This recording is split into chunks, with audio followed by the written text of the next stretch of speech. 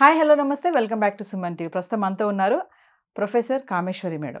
నమస్తే మ్యామ్. నమస్తే అండి. మనం మనం చాలా కథలు చెప్పుకుంటున్నాం. ఇంతకుముందు అన్నా నేను బీర్బల్ కథలు పంచతంత్ర కథలు. నీతి కథలు తెలివి కథలు కూడా ఉన్నాయి కదా? కొన్ని రిలేషన్షిప్ కథలు కూడా ఉన్నాయి. మరి ఈ రోజు మా వ్యూవర్స్కి దేని గురించి చెప్తున్నారు కదా? బీర్బల్ కథ. బీర్బల్. యా. అక్బర్ బీర్బల్. ఎన్ని కథలు బోలెడన్ని కథలు. కదా? అందులో ఈరోజు మనం చెప్పుకోబోయేది కుండంత తెలివి. కుండంత తెలివి. ఒకరోజు సభ జరుగుతూ ఉంటుంది. అక్బర్ సభ. జరుగుతుంటే ఎక్కడి నుంచో ఒక విదేశీయుడు వస్తాడనమాట. విదేశీయుడు అంటే ఎవరో కాదు అమెరికా లండన్ కాదు జస్ట్ పక్క రాజ్యంలో నుంచి అన్నమాట పక్క రాజ్యంలో నుంచి ఒకడు దూత వస్తాడు. వస్తే వెంటనే అతన్ని సభలోకి ప్రవేశపెట్టండి అంటారు. అతను వచ్చి ప్రభు మేము మీ గురించి మీ రాజ్యం గురించి చాలా విన్నాము. మీ రాజ్యంలో చాలామంది తెలివైన వాళ్ళు అంత గొప్ప గొప్ప వాళ్ళు ఉన్నారంట మీ రాజ్యంలో. అందుకని మా రాజు మీ రాజ్యం నుంచి కుండంత తెలివి తీసుకొని రమ్మని చెప్పాడు. మ్. దగ్గర చాలా మంది తెలివైన వాళ్ళు ఉన్నారంట కదా. అందులో నుంచి మాకు జస్ట్ ఒక కుండంత తెలివి. ఇవ్వండి నేను తీసుకొని వెళ్తాను అంటాడు. మామూలుగా ఇది ఎక్కడైనా సాధ్యమా? అంటే చూడండి అప్పట్లో కూడా ఒక రాజు బాగున్నాడు వాళ్ళు బాగా డెవలప్ అయ్యారు మంచి రాజ్యము అనగానే ఇవన్నీ కూడా కుతంత్రాలు అనమాట కుళ్ళు కుతంత్రము అంటాం. చూడండి. ఆ పక్క రాజ్యం వాడికి కుళ్ళు. డెవలప్ అవుతుంది. అంటే ఒక యోధులే కాదు ఒక రాజ్యంలో కేవలం యుద్ధం చేసే యోధులే కాదు తెలివిమంతులైన వాళ్ళు. సంగీత విద్వాంసులు పండితులు ఇలాంటి వాళ్ళందరినీ రాజులు పోషించేవాళ్ళు. ఎందుకు అంటే ఇలాంటివే. ఇలాంటి వాళ్ళను తట్టుకోవడం కోసం అనమాట ప్రతి చోట యుద్ధమే కాదు కదా గెల గెలవాలి అంటే బుద్ధిబలం కూడా ఉండాలి. అందుకే ఇక్కడ బీర్బల్ ఉన్నాడు. అక్బర్ సభలో బీర్బల్. అనగానే అందరూ ఇదెట్లా సాధ్యం?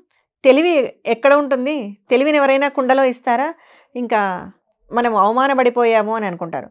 రాజు కూడా ఫీల్ అవుతాడు. అయ్యో ఏంటి పక్క దేశం వాడు అడిగింది మనం ఇవ్వలేకపోతున్నామే? అని ఇంతలోనే బీర్బల్ లేస్తాడు. లేచి స్వా ప్రభు ఇదేమీ పెద్ద విషయం ఏం కాదు. చాలా చిన్న విషయము. మనము ఇద్దాం వాళ్ళకి. కానీ కొంచెం టైం కావాలి మనకి. వెంటనే ఇవ్వలేము. కాస్త టైం కావాలి. ఒక మూడు నెలలు టైం ఇవ్వమనండి అని అంటాడు. సరే అని మూడు నెలల తర్వాత మీరు రండి. మీకు కావాల్సిన కుండంత తెలివిని మీరు తీసుకెళ్ళండి అని బీర్బల్ చెప్తాడు. వాడు ఆ దూత వెళ్ళిపోతాడు అక్కడి నుంచి. వెళ్ళిపోగానే బీర్బల్ కూడా సభలో నుంచి బయటికి వెళ్ళి తోటలోకి వెళ్తాడు. తోటలోకి వెళ్ళి తోటమాలిని పిలుస్తాడు. తోటమాలిని పిలిచి కొన్ని కుండలు తీసుకొని రమ్మంటాడు. మట్టి కుండలు. కొన్ని మట్టి కుండలు తీసుకొని రా అంటాడు. ఒక పది కుండల వరకు తెప్పిస్తాడు. తెప్పించిన తర్వాత అక్కడ గుమ్మడి పాదు ఉంటుంది. తెలుసా? గుమ్మడి పాదు. ఇలా. అల్లుకొని ఉంటుంది అంతా. అప్పుడప్పుడే చిన్నదనమాట ఇంత ఇంత చిన్న పిందెలు ఉంటాయి. చిన్న గుమ్మడికాయలు. ఏం చెప్తాడు? ఈ కుండల్ని తీసుకెళ్ళి ఆ గు గుమ్మడి పిందెలకి బోర్లించమంటాడు. మొత్తం అన్ని. కుండలన్నీ బోర్లించేస్తాడు. ఓకే ఒక రెండు నెలల్లోపు కొన్ని వారాల్లోనే అవి పెరిగి పెద్ద. అవుతాయి ఆ కుండలోనే పెరుగుతుంది గుమ్మడికాయ. తర్వాత జాగ్రత్తగా అవి తీయించి దానికి పైన క్లాత్ వేసి మూట కట్టేసి పక్కన పెట్టేస్తాడు. ఆ దూత వస్తాడు. అంటే వాళ్ళు రెడీగా ఉన్నారు కదా కాచుకొని ఉన్నారు. వీళ్ళని ఎట్లా అవమానపరచాలి అని. వచ్చేస్తాడు. వచ్చి మరి మా కుం కుండ తెలివి రెడీగా ఉందా అని అడుగుతారు. అంటే వెంటనే బీర్బల్ని పిలుస్తాడు. ఉంది సు- ప్రభు రెడీగా ఉంది. అని. తెప్పించండి అనగానే కుండ మూసుకో మోసుకొని వస్తాడు వాడు.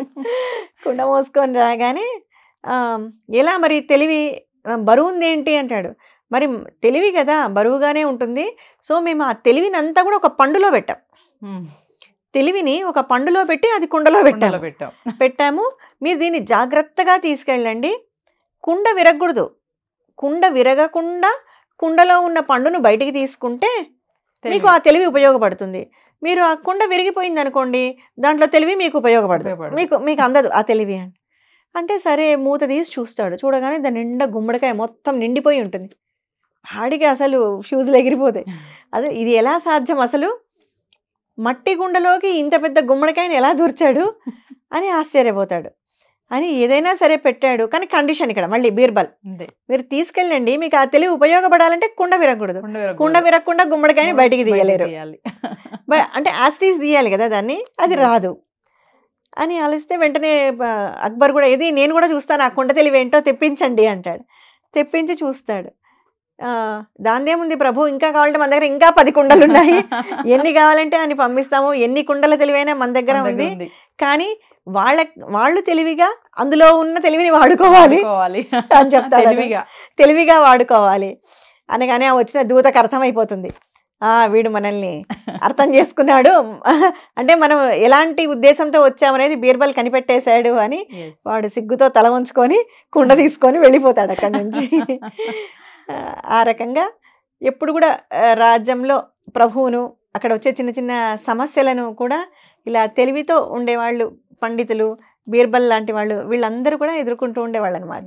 అక్బర్ బీర్బల్ కథలంటే చాలా చమత్కారంగా ఉంటాయి కుండంత తెలివి అన్నారు. తెలివి ఇచ్చాడు మరి. జాగ్రత్తగా తెలివిగా వాడుకోవాలి. తెలివిగా. వాడుకోవాలి అని. ఊరికే అది కుండ ఇచ్చేసింటే వాడు ఏమనేవాడు ఆ కుండ చూడు విరిగిపోయింది. ఆ ఏముంది? కుండలో ఒక గుమ్మడికాయ ఉంది. అంతే కదా అని అంటే దాన్ని చాలా తక్కువ చేసి మాట్లాడేవాడు. ఎప్పుడైతే ఈయన కండిషన్ పెట్టాడో కుండ విరగకుండా కుండ. పగలకుండా పగలకుండా. అందులో ఉన్న తెలివిని. తీసుకోండి అన్నాడో వాడికి అర్థమైపోయింది. అర్థమైపోయింది. రాంగ్గా వచ్చాము. అంటే తెలివిని ఏమంటారు? డౌట్. ఎట్లా చేస్తారు అసలు వీళ్ళు చూద్దాం వీళ్ళను తప్పు పట్టడం కోసమే వచ్చాడన్నమాట. వీళ్ళని వీళ్ళ మీద ఏదో ఒక అపవాదు వేయాలి వీళ్ళని. అనాలి వీళ్ళని తక్కువ చేయాలి అనే ఉద్దేశంతో వచ్చాడు కాబట్టి ఆ వచ్చిన దూతకు విషయం అర్థమైపోయి అంటే. చాలా తెలివిగా బీర్బల్ తన ప్రభువును ఆయన వాళ్ళ రాజ్యం యొక్క గొప్పతనాన్ని కాపాడుకున్నాడు. పరువును పరువును కాపాడుకున్నాడు. కాపాడు వేరే రాజ్యానికి థ్యాంక్ యూ నమస్తే.